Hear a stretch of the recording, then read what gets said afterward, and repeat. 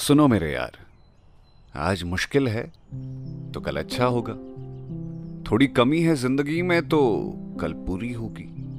बस शर्त यह है कि हिम्मत मत हारना, मेहनत मत छोड़ना और फालतू लोगों की तो बिल्कुल मत सुनना। और हाँ, तुम अकेले नहीं हो इस सफ़र में, मैं हमेशा तुम्हारे साथ हूँ, ठीक है?